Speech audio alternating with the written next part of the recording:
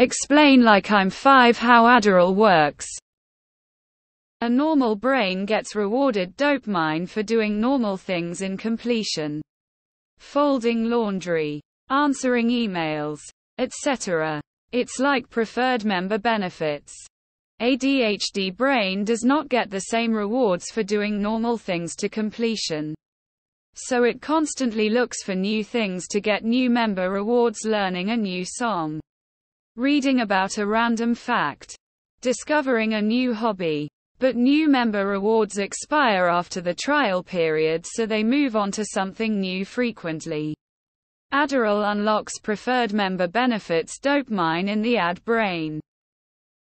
With ADHD, you have chronically low levels of certain chemicals neurotransmitters like dopamine, norepinephrine and serotonin because your brain is wired a bit differently.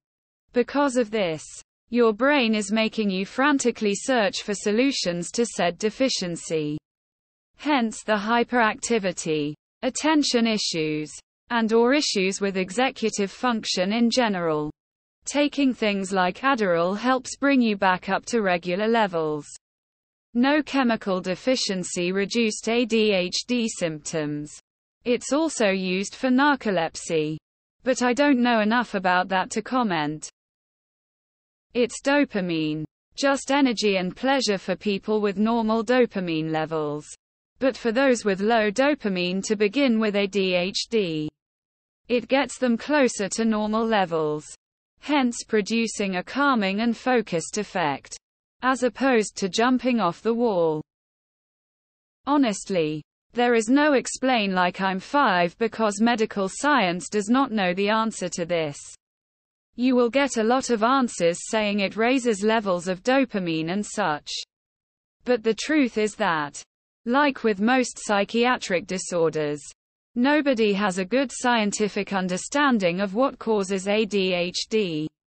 We have empirical knowledge of what Adderall and similar stimulants do at the level of neurotransmission activity so yes, Dopamine and norepinephrine probably play a key role but we have no consensus theories as to why. Those neurochemical effects alleviate ADHD. It's a CNS stimulant. Specifically 4-amphetamine salts that combine to act on dopamine receptors to improve focus, wakefulness, and cognitive acuity basically legalized speed that's given in micro doses to help those with low focus and attention. Bring both up to more normalized levels. Adderall is a stimulant that increases the concentration of dopamine and norepinephrine in the brain. Its exact mechanism of action in ADHD or narcolepsy is not known. Adderall increases the amount of neurotransmitters dopamine and norepinephrine in the brain. This can help a person with AD increase focus on one thing and simultaneously decrease focus on external things. Speaking as someone with ADHD, the best way to put it is that our brains aren't stimulated by much so the way it was put to me by a Narcotics expert is that a stimulant to a already understimulated person essentially cancels it out. So it helps them regulate. A normal person has normal stimulation so the drug will feel like a high to them versus folks with ADHD get help by increasing the amount needed to be normal. I'm not sure but my adult kids ask me mom did you forget your meds when I don't take it? They can tell tired grimace. For folks with ADHD, the increase in dopamine helps the brain to focus on the things that are important, as well as figure out what those important things are. It helps to silence the noise for lack of a better term. Okay, take meth. Manufacture it with a high level of quality control. Now give it to children. Profit. ADHD brain move fast. Body move slow. Meth Adderall make body move fast. Life is balanced. Anxiety body move fast. Brain move slow. Xanax make body move slow. Life is balanced. Adderall takes blood from your body, mostly your tummy, and takes it up to your brain. It goes to the areas of your brain that make you awake and focused.